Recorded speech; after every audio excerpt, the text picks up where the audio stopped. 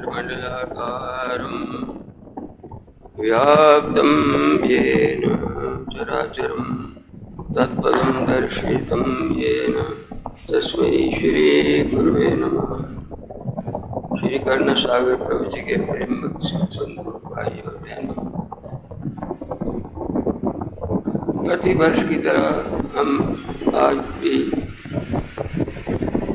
व्यास पूजा के अवसर पर गुरु पूजा के अवसर पर एकत्र हुए हैं। और प्रभु का आशीर्वाद की कामना करते हैं।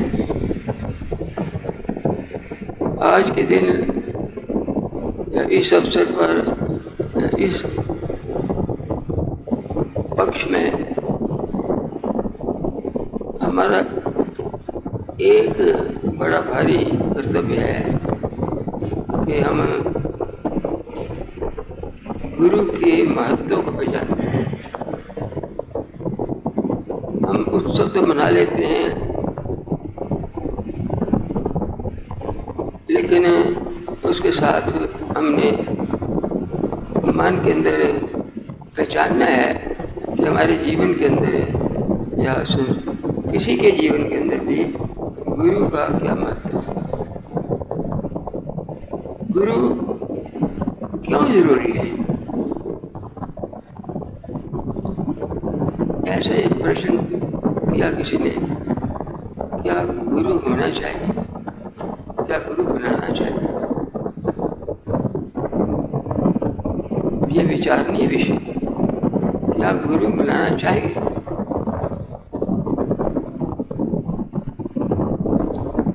तो मैंने कहा कि अगर आपने कोई सफ़र करना हो तो आप पूछते हैं किस रास्ते से जाएँगे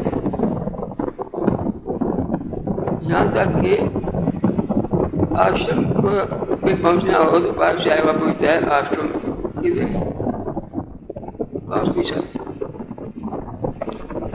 और इसी तरह बड़े लंबे सफ़र भी। दूर का सफ़र करना है तो रेलवे टाइम टेबल देखते हैं और बहुत कुछ करते हैं।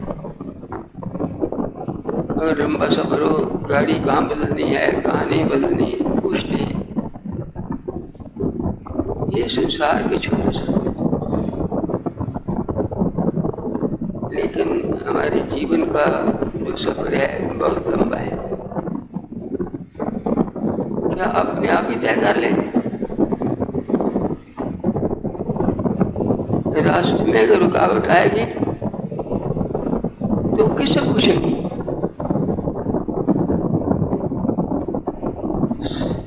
हमारे जीवन में सबसे लंबा सफ़र इस जीवन का तो हमारी जीवन ही है।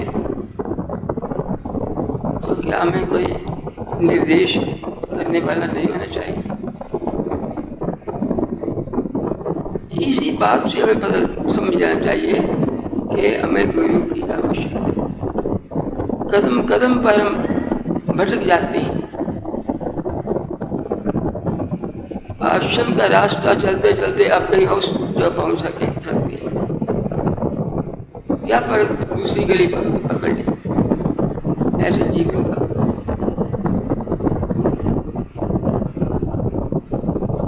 किसी स्टेज पर आकर हम ऐसे भटक जा, भटक सकते हैं कि हमें वापस नहीं मुड़ सकते वहाँ से। और हमारा कई बार सर्वनाश हो जाता ये एक बात है। गुरु की परम आवश्यकता जीवन के अंदर। और दूसरी बात, कि प्रभु जी ने इस बात को दिखलाने के लिए और समझाने के लिए और अपने जीवन में भी पालन करने के लिए वर्षों तक महा अपने गुरु की खोज में जाते हैं। क्या ज़रूरत है गुरु की व्यवस्था नहीं होती। तो क्यों इतनी खोज की उन्होंने और अपने लक्ष्य पर पहुँचे, तब शांति मिली। और हमारे सतगुरुदेव स्वामी मुल्कराज महाराज, उन्नीस साल की उम्र में जब गुरु मिले, तब शांति मिली। भटकते अब पाठ कर ले।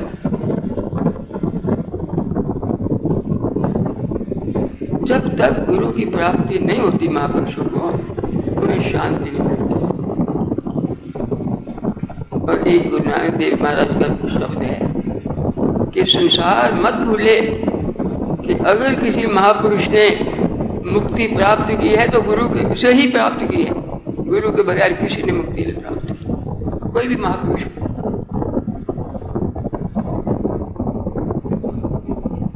तो इससे पता लगता है कि जीवन के अंदर गुरु की परम शक्ति और ना हो तो बड़ा खतरनाक स्थान अवसर आ सकते हैं। मैं आपको ऐतिहासिक दृष्टि से बताता हूँ। जिनों के पास गुरु था, वो भगवान बन गए और जिनका गुरु नहीं था, वो नष्ट हो गए। इतिहास है दशरथ के पास विश्वमित्र है। गुरु थे। मुझे राम चाहिए, दक्षिण चाहिए। छुटक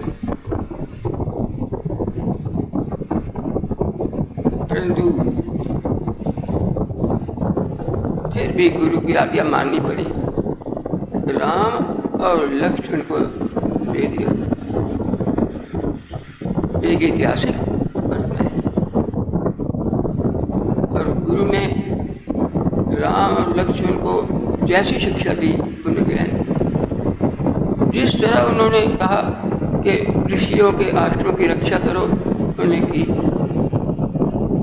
और जिस तरह कहा, चलो, स्वयंवर है, चले।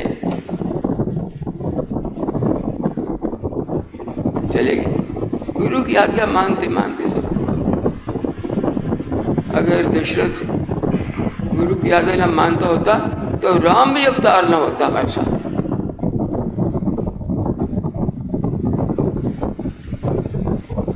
राजा होता, अवतार न होता। और अब राजा भी ऐसे राजा कई हुए। गुरु की आज्ञा से गुरु के निर्देश पर राम अवतार बने। इसीलिए कहते हैं भगवान से गुरु बड़ा होता है।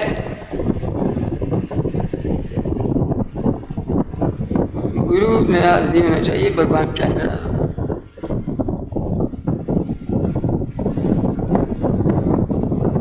उसके लिए कई दृष्टांत हैं। गुरु भगवान, किस तरह गुरु भगवान से बड़ा होता लेकिन दूसरा पक्ष रावण का है। रावण ने सीता का हरण किया। लेकिन अगर गुरु होता तो उसको वर्जिता वापस कर गुरु था बिना गुरु के रावण का नाश हो गया। लंका जल गई।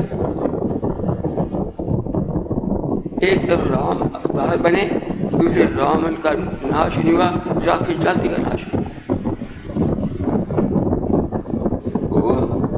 गुरु से हमें जीवन के अंदर उठाते हैं बढ़ाते हैं और सुख करते हैं।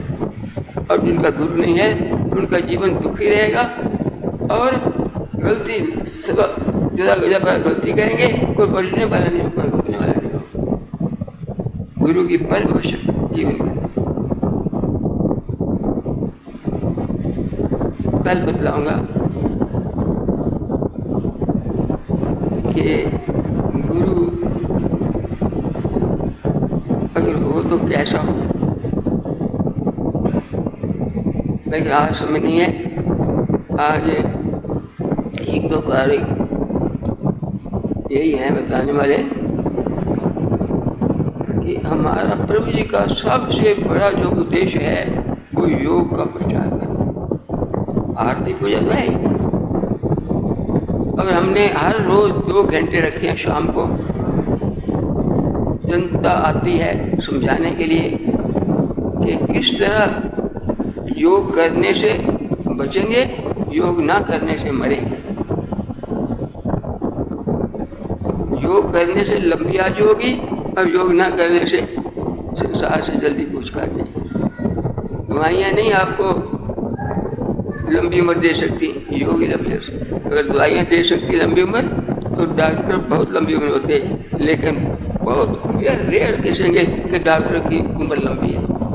लेकिन योग करने वालों की उम्र सौ सौ साल से भी ऊपर हमने इतिहास में पढ़ते योग का महत्व बताने है अगर स्वस्थ रहना है और पूर्ण आयु भोगनी है तो योग ही एक है, दवाई। दूसरी दवाई कोई नहीं। कोई संजीवनी बूटी नहीं है हमारे पास, जो हमें ज़िंदा रख सके, लंबे अर्से योग ही संजीवनी बूटी है। और इसके लिए हमने शाम के दो घंटे रखे हुए हैं।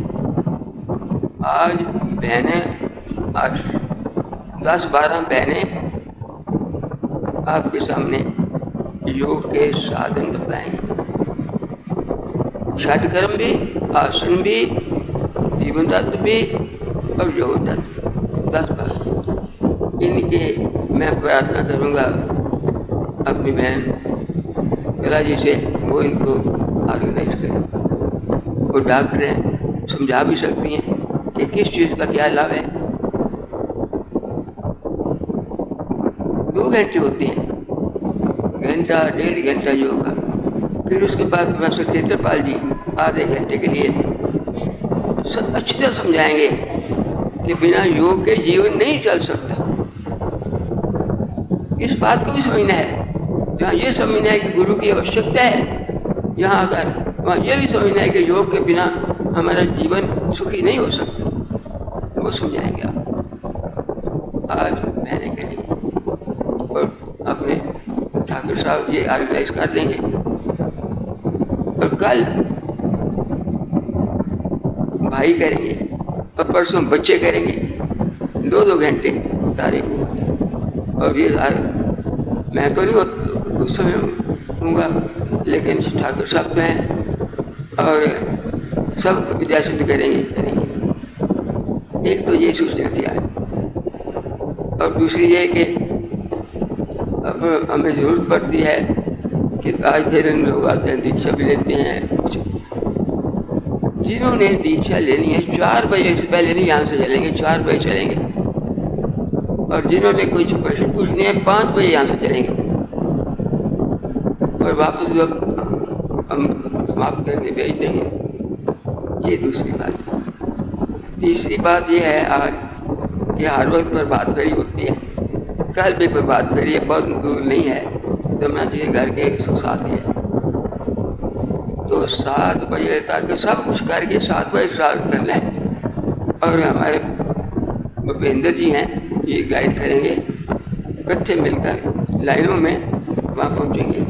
और वो तो वहाँ पहुँच कर तो जैसे कुर्बान होता है, वहाँ कुछ व्याख्यान भी होते हैं, पूजा भी होती है, खाना भी होता है, वो दो ढाई घंटे लग जाते हैं। तो सात यहाँ सात बजे से चलेंगे कि जहाँ जाना है, उन्होंने भी तैयारी करनी होती है। और फिर हमने भी तो यहाँ तैयार होकर जाना है। ये नहीं कैसे चले जाएँगे, सुबह हारे के अपना स्नान भी करना होता है। और फिर साधन भी सारे करने होते हैं। बिना साधनों के थोड़ा चल जाना है। और दूसरा, जो नए आए हैं, उनको साधन सिखलाने भी हैं। सुबह चार, पाँच बजे के बीच में उठना है। और साधन करने हैं, स्नान करने हैं, सात बजे तक त्याग कर कल की कल भी ऐसा है, परसों भी ऐसा ही होगा फिर दो दिन के लिए। तो अब ठाकुर साहब से प्रार्थना करूँगा कि वो रामायण का पाठ शुरू करेंगे और उसके साथ घंटा भर रामायण के पाठ चलेगा। आपको उपदेश इसलिए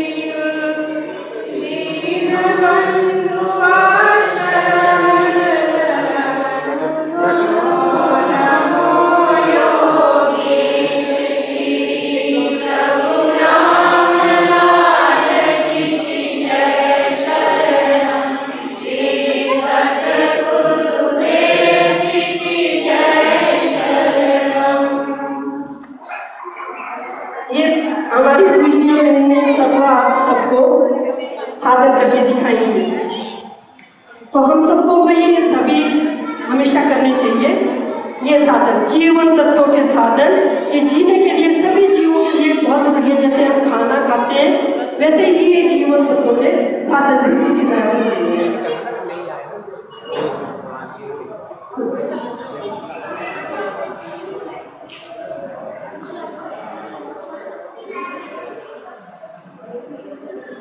ज़रूरी है लाइन कर दीजिए आप